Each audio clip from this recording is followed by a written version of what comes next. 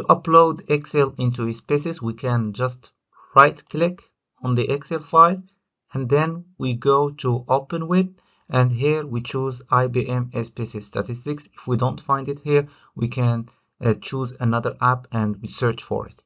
So let's just click this. You will have this menu, so you don't take anything, you just click OK. Here it is.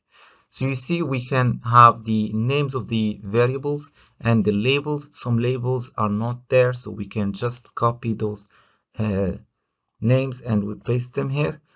You see, if I want to run descriptive statistics, I cannot run that because here I don't have a numeric variable. So I need to turn this string type into numeric. So if I go to run an analysis, so especially uh, mean comparison.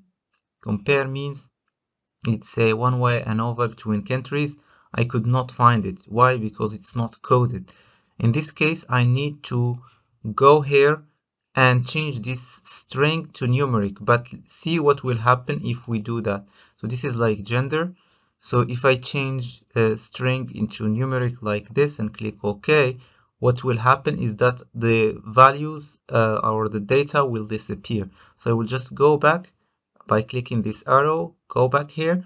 I will show you the appropriate way to do it.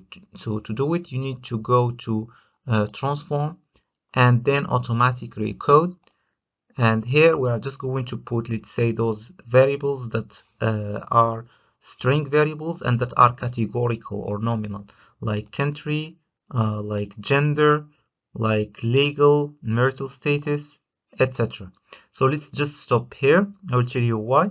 So for countries, I will just code it into CTR, uh, add new name, then for gender, like G, just to identify them later because they will be, and then legal marital status, so just MS and add new name.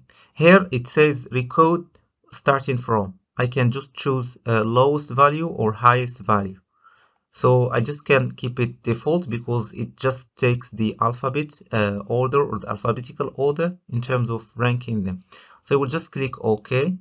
And what will happen is that I will have the code book here. You see that the countries, all of them have been coded and their uh, codes have been assigned automatically. The same for gender, male and female and the same for the legal or marital status. So here we just go back to the data. We will find those variables here. So you can just see also their values and I can run the statistics. So if I go to analyze, compare means, and then let's say uh, one way ANOVA, I can find the countries now being created so that I can just uh, compare the countries and their uh, age, for instance. Let's just do that and here they are etc so this is in brief how we can go about uh, converting string variables into numeric and auto through automatic recode and then we can run statistical tests like one-way ANOVA, t-test, among others. If you have questions or remarks, do not hesitate to post them below and see you soon. Bye for now.